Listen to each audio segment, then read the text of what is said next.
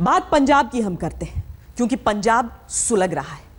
बात आज की नहीं है, कई दिनों से यह सिलसिला हमें नज़र आ रहा है। अक्टूबर के शुरुआती हफ़्ते में कपास की तबाह फ़सल से दुखी किसानों ने पंजाब में आंदोलन किया तो अब धार्मिक भावनाएँ भड़क उठी हैं।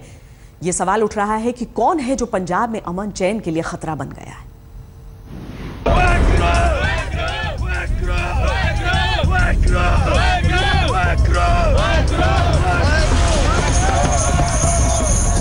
सफेद मक्खी की वजह से कपास किसानों के आंदोलन से जूझ रहे पंजाब में अब धार्मिक भावनाएं उबाल पर हैं। लुधियाना जैसी तस्वीरें जगह जगह देखी जा रही हैं। रोजाना सड़कों पर जगह जगह गुस्साई पंगत बैठ रही है। हर किसी का सवाल है कि पवित्र ग्रंथ के पावन पन्नों का अपमान करने वाले कब गिरफ्तार होंगे ਸਰਕਾਰਾਂ ਬੋਲੀਆਂ ਸਰਕਾਰਾਂ ਤੱਕ ਆਵਾਜ਼ ਪਹੁੰਚਾਉਣਾ ਚਾਹੁੰਦੇ ਆ ਕਿ ਜਿਹੜੇ ਇਹਨਾਂ ਨੇ ਅ, ਪਿੱਛੇ ਗੁਰੂ ਗ੍ਰੰਥ ਸਾਹਿਬ ਸੱਚੇ ਪਾਤਸ਼ਾਹ ਦੀ ਬੇਅਦਬੀ ਕੀਤੀ ਹੈ ਉਹ ਜਿਹੜੇ ਦੋਸ਼ੀ ਨੇ ਉਹ ਗ੍ਰਿਫਤਾਰ ਕੀਤੇ ਜਾਣ ਉਹਨਾਂ ਨੂੰ ਜਿਹੜਾ ਕੇਸ ਚਲਾਏ ਜਾਣ पंजाब में अचानक पवित्र वाणी के पन्ने फाड़ने की घटना जिस कदर बढ़ी है उसका संकेत साफ है कि अमन चैन बिगाड़ने की साजिश बहुत गहरी है मसलन 12 अक्टूबर 2015 को फरीदकोट में पवित्र ग्रंथ के करीब 100 पन्ने फटे हुए पाए गए 15 अक्टूबर 2015 को मुक्तसर में पवित्र ग्रंथ एक नाले में पड़ा हुआ पाया गया।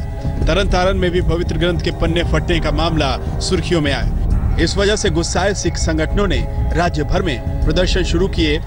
फरीदकोट में प्रदर्शनकारियों के खिलाफ पुलिस कार्रवाई में दो लोगों की मौत हुई।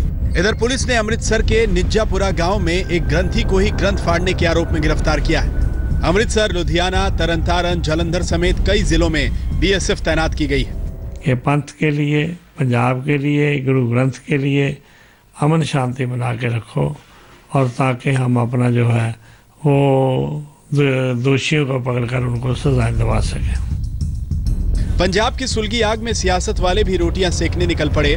विपक्ष ने राज्यपाल से मिलकर बादल सरकार को फ़ौरन बर्खास्त करने की मांग। किसानों के आंदोलन से ठप था।